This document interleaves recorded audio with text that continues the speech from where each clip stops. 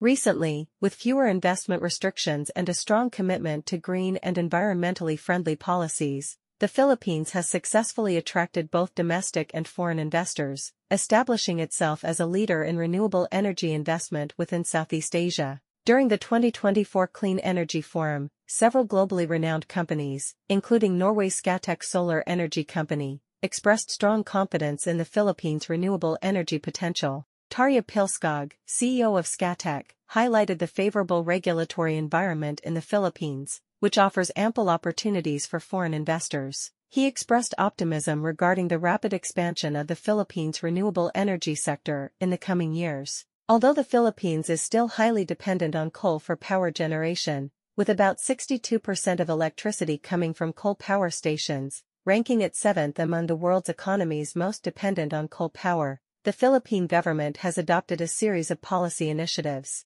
These initiatives, such as allowing wholly foreign-owned renewable energy projects, have greatly promoted the development of wind and solar energy projects. Currently, the Philippines has secured agreements for wind and solar projects, totaling 99 gigawatts in capacity. This capacity not only exceeds the energy needs of all households in the country, but also surpasses the combined scale of renewable energy projects in other Southeast Asian nations like Vietnam and Indonesia, while only 3% of these signed projects are currently under construction, indicating room for improvement in implementation progress. Both the Philippine government and business sector remain optimistic about future developments.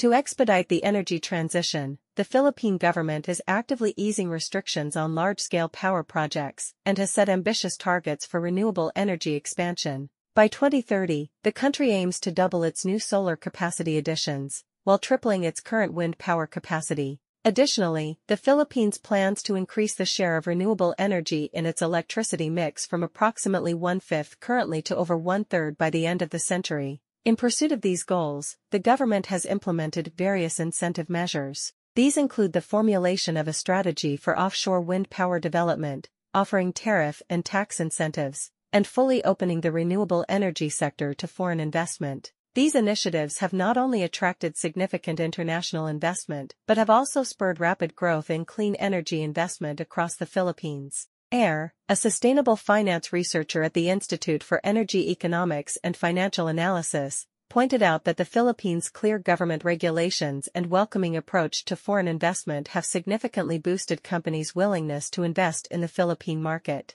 Moreover, the absence of a dominant state-owned enterprise fosters an environment conducive to innovation. Despite these advantages, the Philippines encounters several challenges as it accelerates its energy transition. These include the need to extend transmission lines for improved power distribution, expand grid capacity, strengthen energy storage capabilities, and streamline land approval procedures. AIR underscored the critical importance of effectively executing projects to ensure that signed contracts translate into tangible increases in production capacity. Tune in every Monday to Friday at 8 p.m. for Qingqiao View, the Business Bridge.